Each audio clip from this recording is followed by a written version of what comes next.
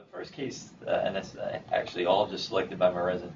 This is kind of a case where obviously you had a chronic occlusion of the left limb of an aortobifemoral graft, but now you have these pseudoaneurysms here. So I've, I've seen people put uh, covered stents across these things. Um, I, I was not in the room when I did it, so I couldn't openly intervene. And here's a guy who's got a. Uh, These are all the same patient. yeah, this is one case. So he's got, uh, call this the Santa Fe Highway. I don't know why, but uh, if you have one of these crazy bypasses that starts someplace and ends up down below, um, So can you can you go back up in the belly? I don't know. Let's see. I don't know how to go back. Just peek. All right, millennial. So this basically this so this limb then ends up crossing over. It looks like That's why it's the Santa Fe Highway. Limb went down. interesting, but it's included in the right groin. Yep, exactly. So we're included, and we have two pseudoaneurysms there.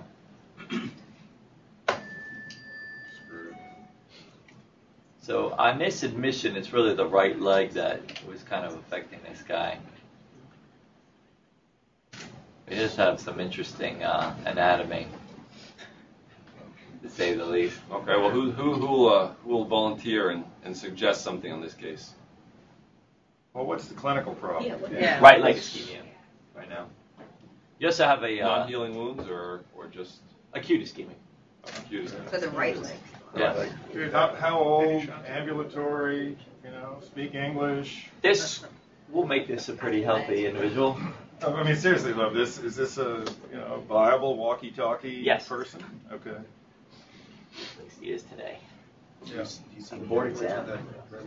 Yeah, did you have any Andrew of the right leg? The right leg, yeah. That's it. It stops there. It You is a see reason. nothing below it. It's not Philip. But this is uh, this is a problem we do see occasionally where just we don't get any imaging in the right. So is there anything else we can do to kind of see what's going on in that right leg? Operate. Just cut it down. You could, yeah, you could operate, but on a redo, that's you know that's a dicey proposition. I'll tell you right now.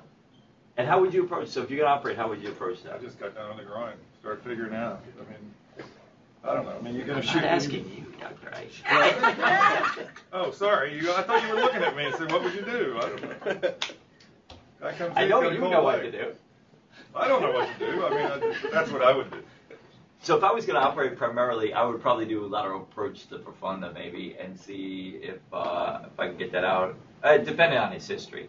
You know, if, if we have any kind of palpable pulse history, and his SFA was probably open at one point. I'm assuming it wasn't, but um, but yeah, you could just go right into the groin. Um, but a CTA will give you a little bit better definition um, of this, especially you know if this is chronically ischemic and you can't visualize the femorals. You So what's the issue with the C, with the CTA though? So your timing is going to be because it's still going to largely fill the other leg. Right, so that's the most important part is you may not actually end up seeing what you want to see, right? Because the timing is likely going to be off. At least it is with our radiologists. Um, uh, there are some there are some better protocols for runoffs. Um, like we have a, a new a new Siemens system which has a, a particular protocol, so it's it's essentially timed in a very different way, uh, and it's a really a dynamic uh, study of the runoff. But mo- by and large, you're probably not going to see what you want to see.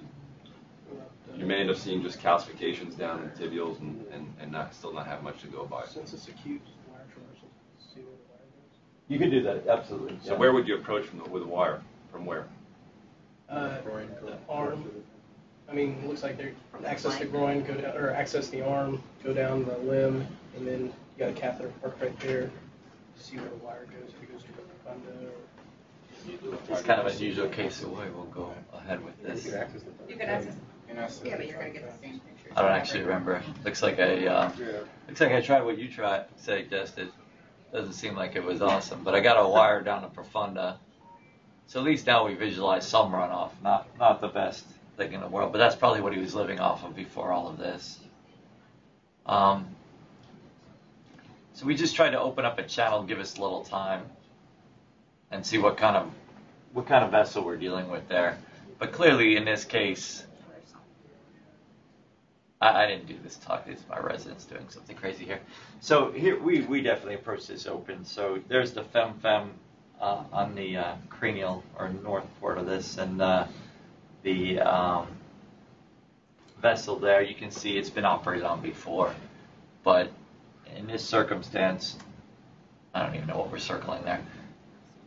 So there's your profunda, and you can see it's kind of not the biggest vessel in the world, but obviously that's what he was living off of.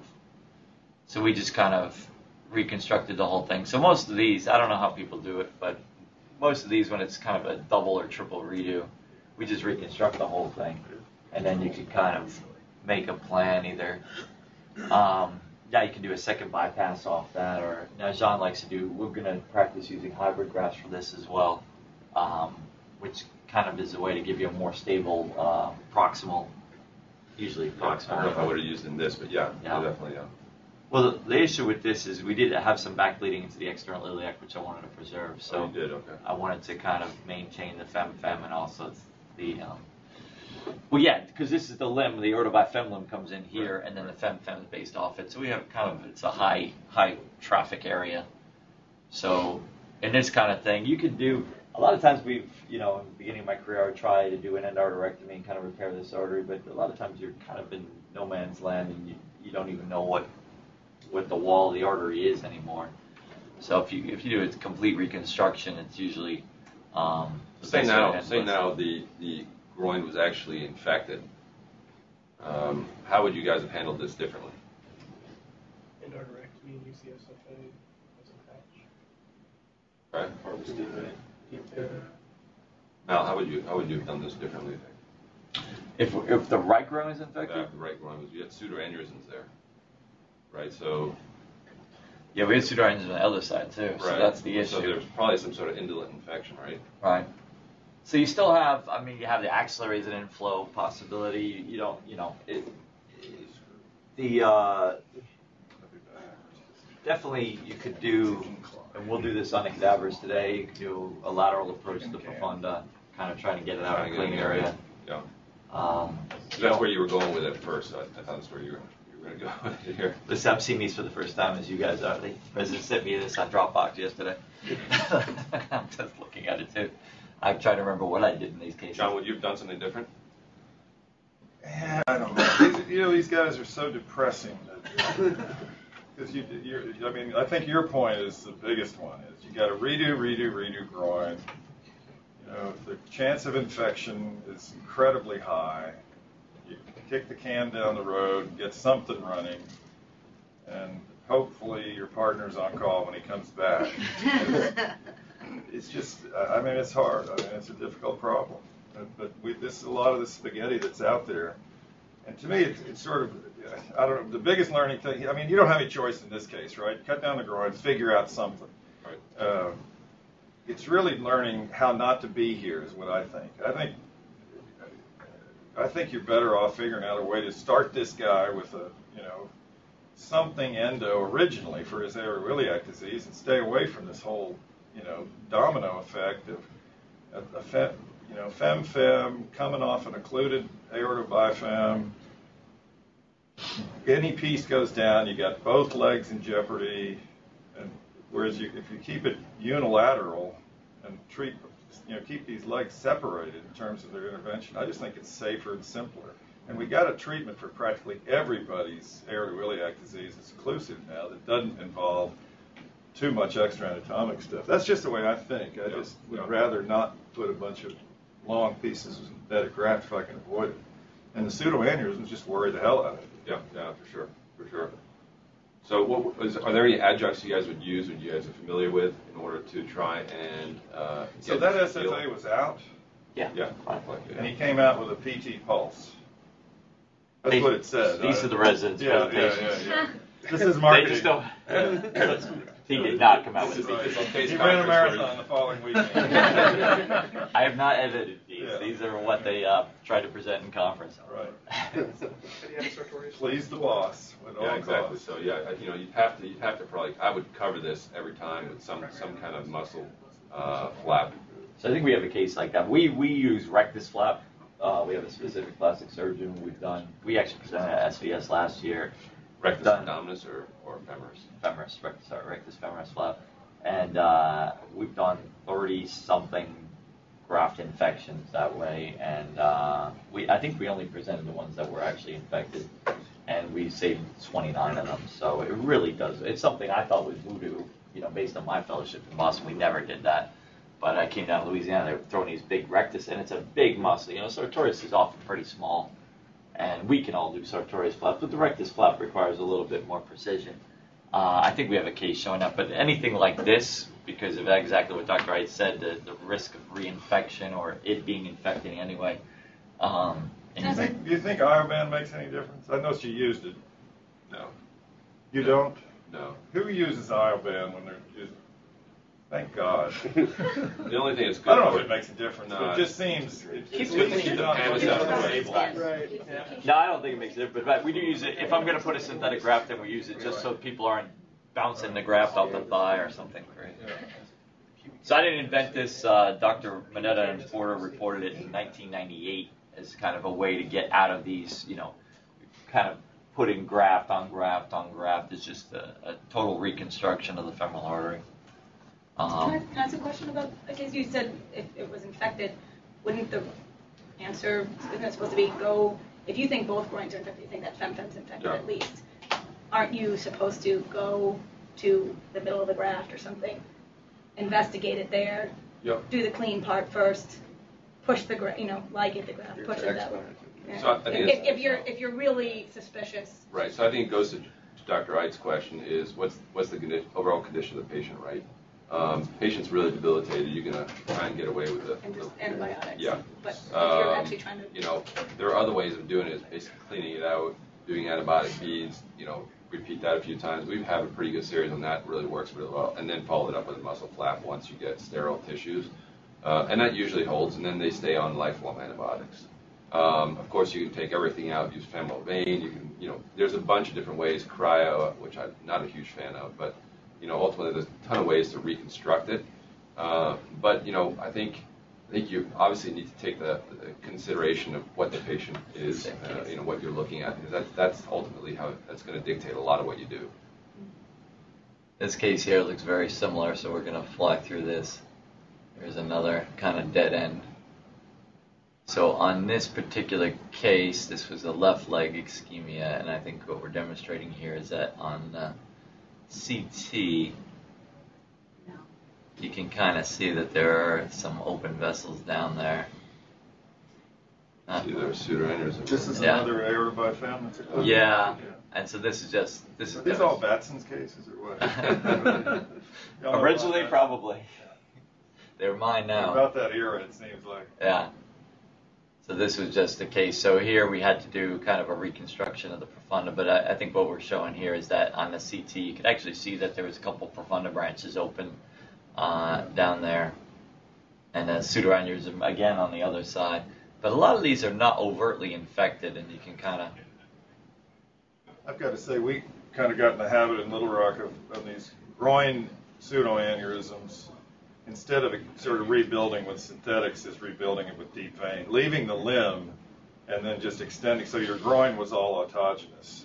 So Yeah. you use same side deep vein or, or contralateral side deep vein? Yes. Yeah, I mean, because you know, if you take a short piece of deep vein, people, most people don't have hardly any symptoms Right. with that. Right.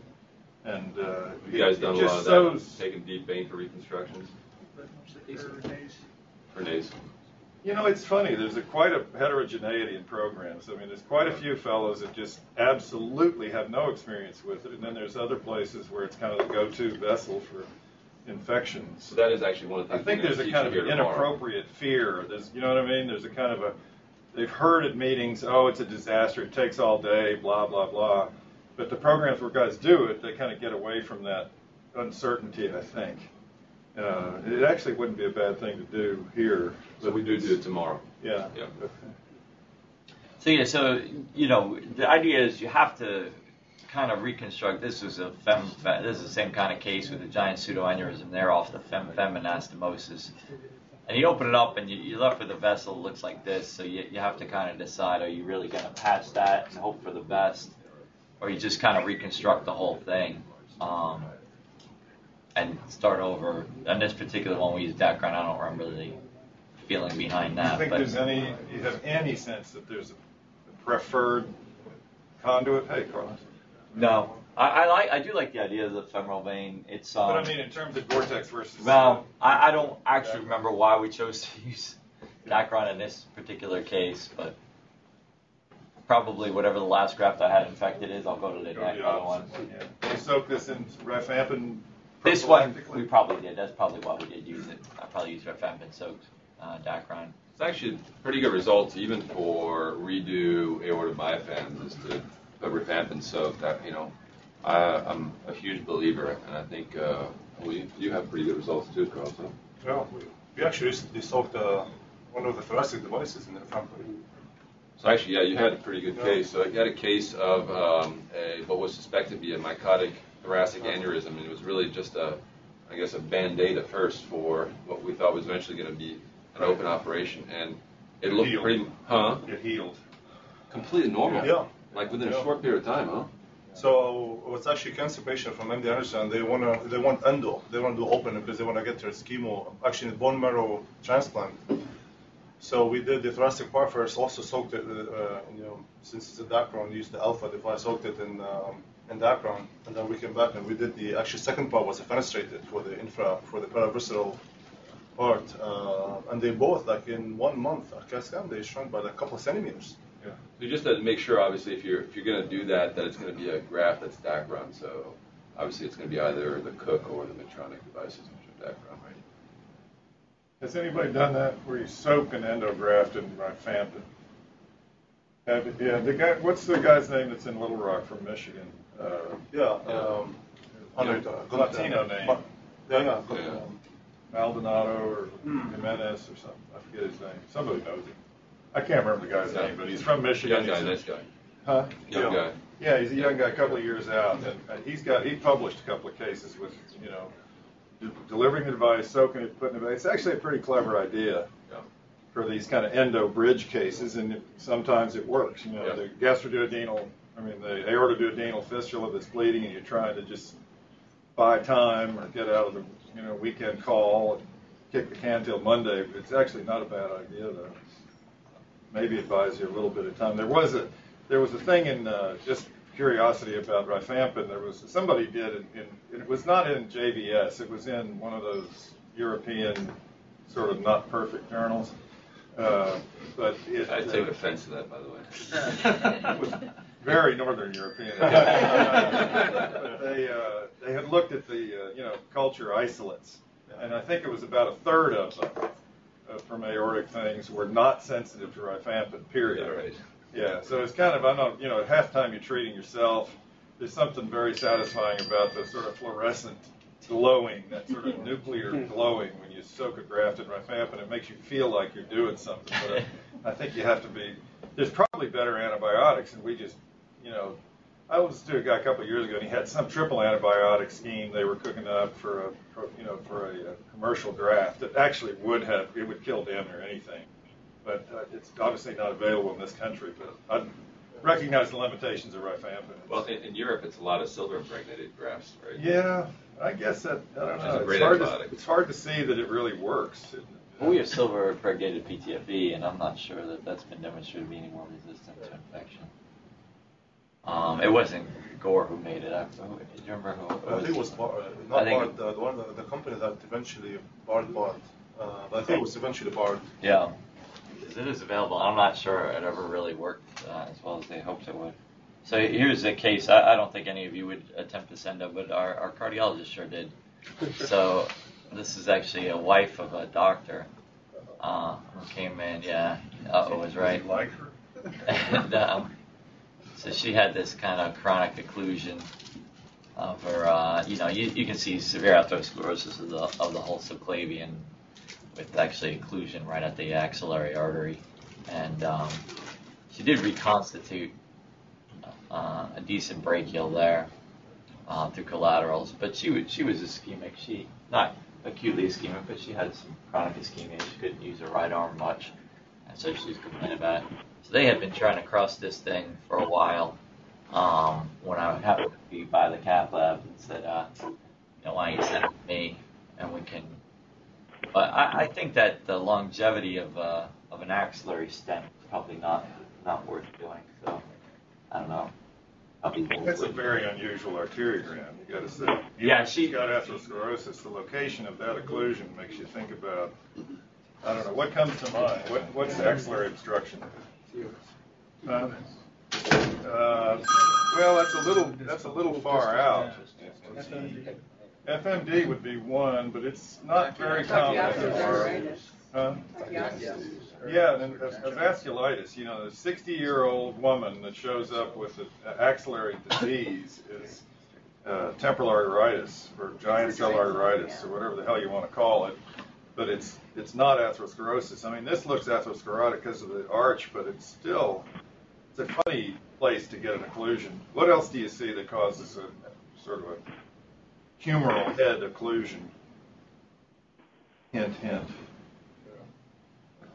you know, the chronic trauma stuff, the crutch issues, or these little old women that have broken their their uh, humeral head, they fall in the kitchen and they have a humeral fracture, and they kind of get it treated with a sling. Some of those they wind up with pinched arteries and, and kind of chronic trauma.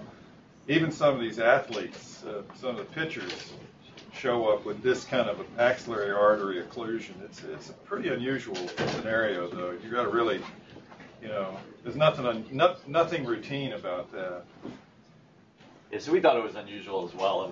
We first approached it from an incl- infraclavicular approach. I wanted to see what the artery looked like there. I was trying to do as short a bypass as possible. Um, but It's hard to go back to the original point though about the, uh, this, you know stenting this. I mean, you'd have to have a pretty sick person to justify a stent. I think in this place, mainly because of the diameter. You'd be putting some five millimeter by something in. You got a high high mobility location. You know, in general, stents work pretty good where there's not a lot of mobility. I mean, it hadn't worked very well in the SFA, mostly because of all those external forces. And, you know, intrathoracic, intracavitary places, it works a hell of a lot better. So, I mean, you'd have to have a good reason. She'd have to be very frail. You're just trying to, you know, some nursing home patient that's come in, a pretzel in the emergency room, and you just don't want to do an arm amputation. So you do something, and they're probably never going to move anyway. You know, they're not going to be playing tennis for a reasonable period of time. Justify it, but most of the time you're going to do something open if you have a, you know, some kind of affection for her. so we uh, we didn't try an infraclavicular approach to this, but the, the artery was clearly diseased there. This this I thought it was going to be giant cell or something else. Is she a smoker? Uh, she had been. I think she had quit like over the last ten years, but yeah, it is definitely unusual anatomy. But so we ended up having to do a bypass from really from the proximal subclavian um, down to the brachial artery. These are awful pictures, but What did subclavian look like? Uh, subclavian. is not subclavian normal. infraclavicular, it was diseased. It Too was bad they uh, used atherosclerotic. it. I actually took a section of it and sent it off Yeah, for, yeah. for That's a pathology, good idea. and it just came back atherosclerotic. So would you Didn't see any consider artery. taking it from the carotid? What's that? Would you consider taking the bypass from the carotid? Yeah, but the proximal subclavian was normal. But yeah, I was I was just in my mind. She's 60. She's pretty healthy. She's gonna live a long time. I don't want to be bypass. So um, let's see what this case is So- here. Uh, so tunneling, let's, uh, let's talk, talk to trainee about the tunneling. Because tunneling is not a, Right. I mean, I've, I've had a patient come see us, actually they tunneled above the clavicle. Uh, you don't, you really don't want to do that. Uh, That's the reason I didn't mind making the infraclavicular Yeah. incision because I knew I was gonna make it anyway to tunnel it. So, but yeah, that's the, Actually, that, that- it's a good point. Uh, During the uh, Monday and Tuesday of this week, there were several okay. candidates that uh, did subclavian aneurysms. First, you know, thoracic out, arterial thoracic outlet with an, aneurysm and embolization that did essentially subcutaneous bypasses without first rib resection or cervical rib resection. And, uh, you know, again, we look. There's no randomized trial on how to treat embolizing subclavian first rib, blah blah blah. But if you said, you know, mostly when you board exam is about sort of joining the fraternity of vascular surgeons. It's Joe Mills always says it's uh, uh, learning the inherent biases of our specialty, and that is kind of true. You know, we're a relatively small group of people, but we do kind of tend to think alike. I don't know why that is, whether we're just conformist and we don't want to uh, deviate from what all the rest of the candidates feel. But I think most people would take the rib out or take the, the, the uh, cervical rib out. Whether you take, the, if you have a cervical rib, you need to take the first rib. I think that's one of those fielder's choice things. If you had a huge space after the cervical rib was out, and you did an autogenous reconstruction under the clavicle, that's probably what I would think of as sort of the closest thing to standard of care. Probably second would be some non-autogenous reconstruction. If you had nice big vessels, you know, you'd rather not be putting Gore-Tex into a four millimeter distal target. Just, you know, diameter matters probably. So, in this lady, who would use who would use Gore-Tex here versus graft? Who's who's got Gore-Tex first? I noticed they use Gore-Tex, but you'd use uh. Uh, who who would use vein to reconstruct this lady? Most people, it looks like. Yeah. How did you? Why did you choose not to use vein? Her vein was bad. Yeah, I was gonna. I was thinking about using vein, um, but her vein was sclerotic and poor caliber, and Yeah. but the, yeah, I, I bypassed at that length, and that's actually another reason why I went in, infraclavicular at first. I was hoping for a very short bypass, but I, I couldn't get away with that. It was Yeah. An issue where the whole subclavian was diseased and had to come proximal. I remember a woman really, really well from about 10 years ago. She was down in Pine Bluff, Arkansas. A nice guy down there. wasn't a bad guy. But at any rate, she had uh, uh, giant cell arteritis in both axillary arteries, and she had had bilateral, it was either carotid or subclavian to brachial bypasses with synthetic. And uh, she had the, the, the distal on this side was done end to end and she had thrombosed the thing. It, it, she had failed, and they redid it, and she got it end to end, and basically her shoulder died. And she came in. We sort of tried to revise the thing, but she was, you know, she was sort of like hand her alive, but her arm was dead. And we did a forequarter amputation on her, and uh, uh, she was she I, she sent me a Christmas CD because she was in some chorus that sang, you know, Christmas songs at Christmas and there was a picture of her. It's a very odd looking human that doesn't have a, a shoulder. You know, your neck is about that long when you don't have a shoulder girdle. and she looked really weird from that side, like some kind of a cartoon character. Uh, it's, it's, I would, I guess what my recommendation is, I would avoid that operation if you can, because it was, it was an occluded and infected synthetic graft end to end of the brachial artery. Probably several uh, principles violated.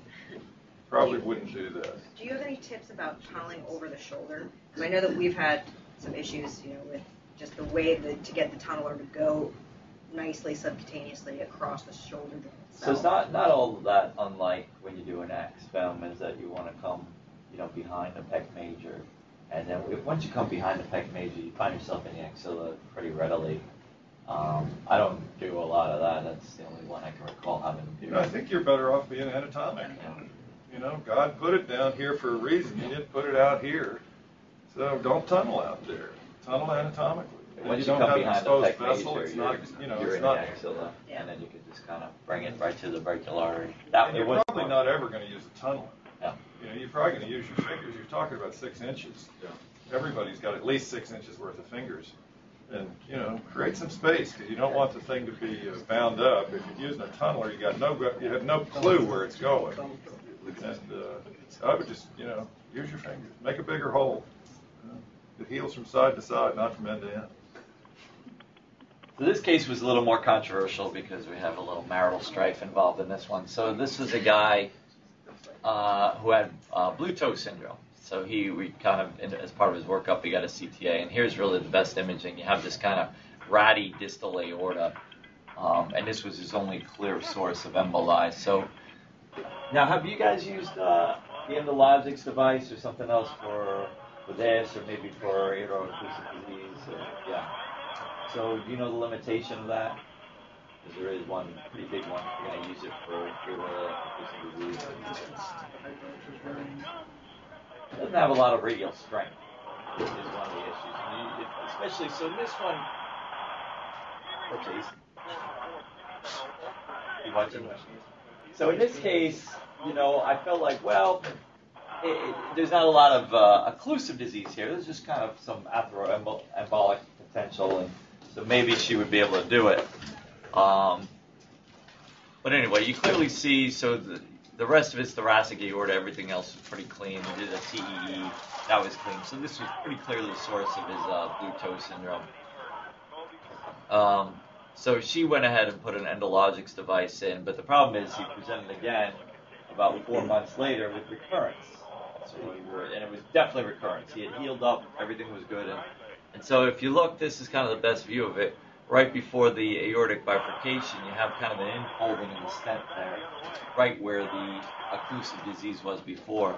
So there's not a lot of inherent strength in the, in the graft to kind of keep these things open.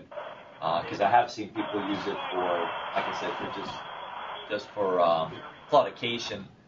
But if you do, you have to be careful. You can see the stent is barely open there above the bifurcation. So how would you fix that? We didn't fix it the way I wanted to, so just give you a hint. How close is it? Can you see where it is? It's right there, just above the bifurcation. But the device goes to the Morning. Renal. Oh yeah, yeah. She She covered the Good. whole thing, like which I think was smart. If you're if you're looking for blue toe, you gotta cover. oh, as is it coming through? Let me hang up. Um, so how would you fix this? Like a Palmaz or something. Yeah, I, I wanted to explant the whole thing and do an aortobifem, but she won out. So she uh, she went ahead and put a Palmaz in and opened it up. Now at this point, how do you know? Because it's hard. You got stent on stent here. How do you know what's going on? Do another CAT scan. Yeah, IVUS. That's a good way to do it. She, um, I don't think I actually included the images because it was hard to make sense of what was going on. But she actually IVUS pre and post and was able to demonstrate where the infolding was.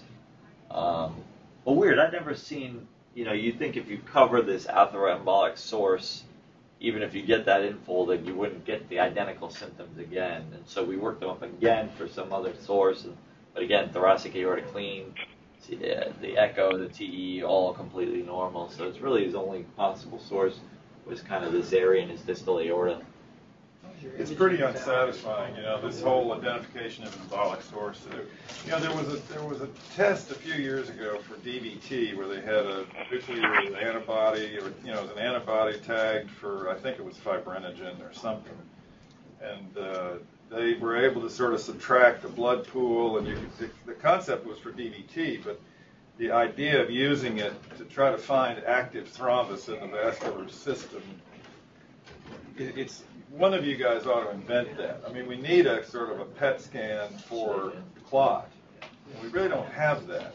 Uh, And it would be very helpful in a situation like this where you got a little SFA disease, you got aortoiliac disease, you got something in the heart, you just don't know where the hell to cover. And we just kind of go, well, we can cover the aorta, but it's it's not very satisfying, especially after you got the thing in there and now you got more symptoms.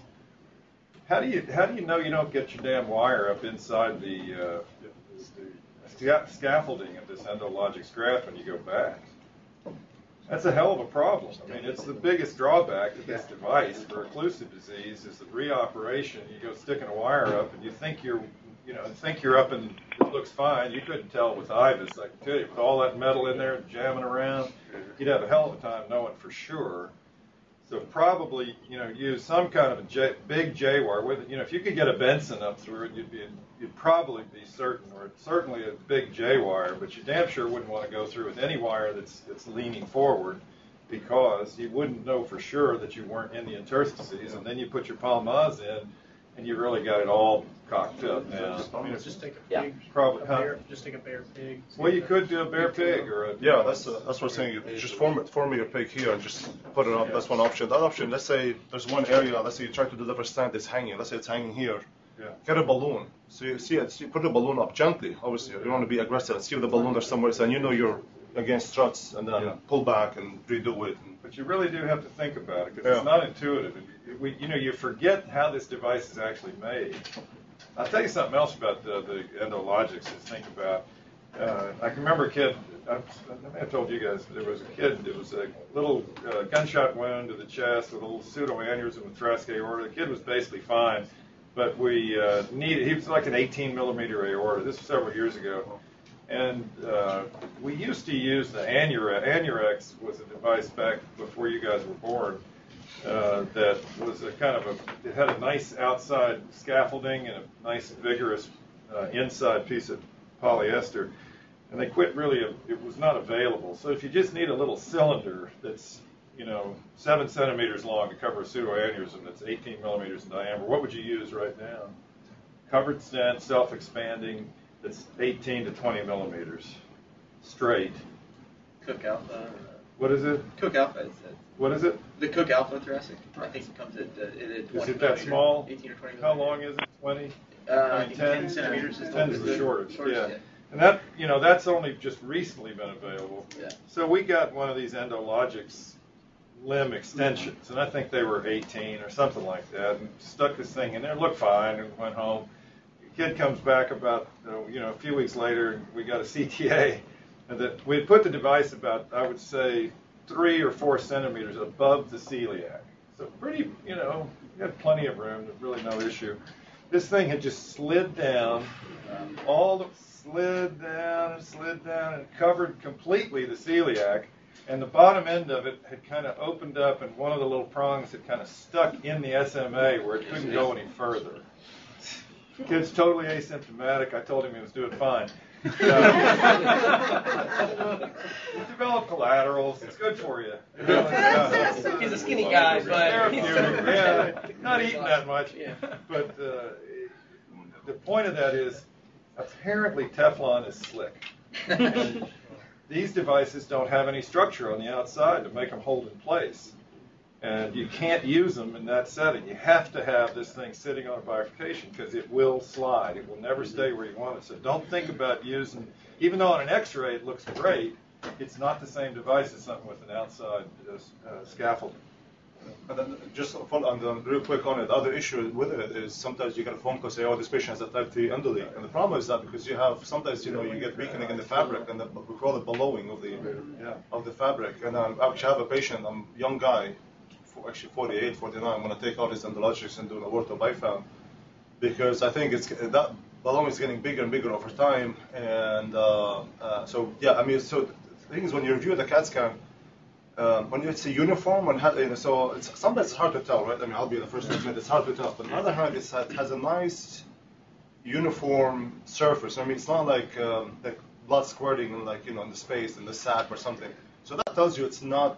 It's a kind of a contained. You know, it's contained. So you know it's not an endoleak. It's just problem with you know one of the issues with this device. But if you look there at the aortic diameter just above the bifurcation, it's not much bigger than his left iliac. Yeah. Yeah. 14. So I don't I don't think this is a great way to treat aortoiliac occlusive disease. It's uh, it doesn't like I said it doesn't have a lot of radial strength to it. It's not gonna. Well, let me ask you a question. Do you think uh, that two Viabahns up to the renal arteries is better than this bifurcated device? You're asking me to choose two things I hate. So the- Well, I mean, that's Nellix. Sticks You know, that's sticking essentially up, what yeah. Nellix is, right? Yeah. You got two stent grafts up to the renal arteries with two gutters. Yeah, I, I don't think it's an adequate treatment for aortic occlusive disease. If uh, we have a case of, we, we see a lot, so that's almost a disease exclusively found in pathologic smokers, aortic, you know, aortic occlusion, infrarenal aortic occlusion. Alan, give us your opinion on this. So you got an embolic source in an otherwise patent. Go back to the original film if you got it. Uh, Yep. It's a, he's a, a blue toe syndrome, atherosclerotic disease. Yeah. Your treatment options are aortobifem, conventional surgery, uh, endologix, cover the whole thing. I'm sorry. Endologix cover the whole thing. Uh, two uh, two Viabahns uh, from the this sticks in mud basically from the renal arteries to the common iliacs, or some kissing stent, something else. What what what do you think? That, So, uh, so this is embolic, and this is what it Embolic. looks like. embolic source with pulses. Okay. All infrarenal. And you've already done, presumably they're already on the antiplatelet things, and you've looked elsewhere for a source. So sometimes you get people who will give you pictures of the infrarenal aorta, and they don't bother to look at the descending thoracic aorta. And I think that one less of an issue now. It was an issue a few years ago, and I think it's partly because of the division between cardiothoracic and vascular. And then what happens is we look at our place and we ignore the rest of it. And I've always said that, you know, if you were a general surgeon and you had somebody with a sigmoid colon cancer and you take out the sigmoid colon without looking at the rest of it, it's called malpractice. And for some reason or other, the aorta has been thought of differently because it's been subdivided between different specialties. So if to look at the aorta, I think almost almost in every case you've got to look at the entire aorta because you, it could be coming from anywhere. And believe me, I think we've all been in situations where we identify the culprit lesion, we treat the culprit lesion, and a month later they're back with exactly the same thing. So exact, knowing exactly where the stuff comes from, I think, is a, is, is a bit of a challenge. What's the problem with this image? The window's not ideal. Say again? Can't The where window's not ideal. Yeah, terrible window. You got the calcium and the contrast are overlapping each other. You can't, you have no clue what's going on in terms of the mucosal, you know, mu- mucosal. Is that what they call it? Mucosa. The inside of the right colon. Yeah. Uh, we were talking about colon. I'm thinking mucosa, but you got to change the window so you can differentiate calcium from contrast. Otherwise, you you know, you can sort of see the infrarenal aorta's disease, but really don't know. And you could have, I mean, Alan, that's a very good point. I mean, you could have some little ulcer up in the arch.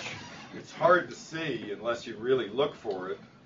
And, uh, you know, So, so one of the things, again, we've we've obviously done a significant amount of dynamic MR imaging, and it's not for everything, but sorry, you will sometimes.